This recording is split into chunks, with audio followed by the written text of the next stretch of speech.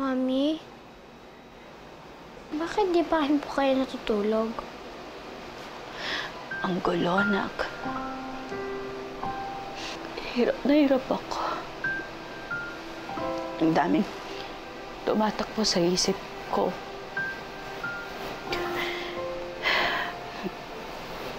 Parang sasabog. Konti na lang.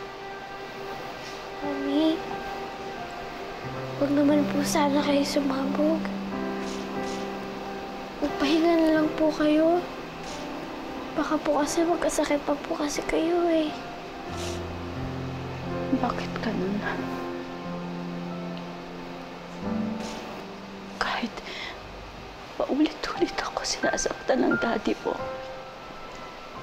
Hindi siya mali sa isip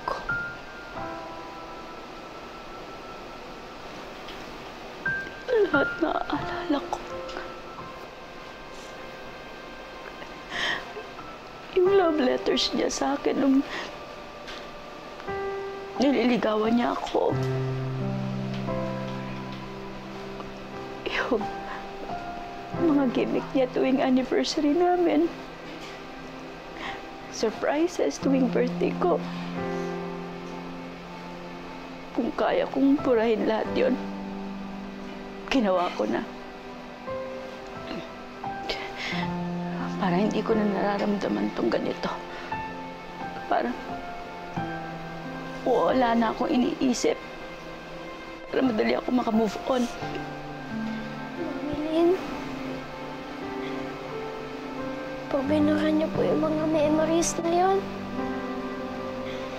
mawawala rin po ako sa isip niyo eh. Sana naman po, huwag niyo pong gawin yun, Mami.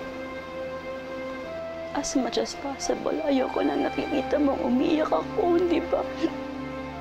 Because I know you'll be sad kapag sad si mommy, di ba? Yan mo. Mula ngayon, hindi ko na iiyak ng daddy mo.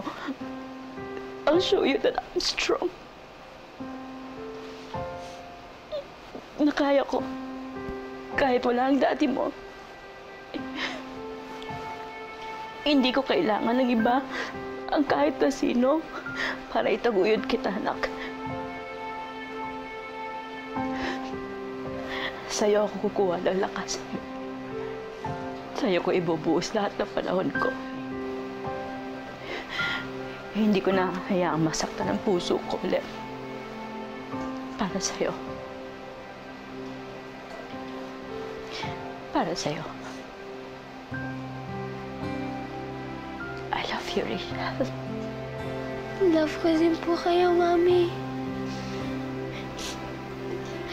Mami, sana po magkayos na po kayo ni Daddy para po magkaroon po kayo ng magandang memories at Rachel. Katulad po nung sa atin noon.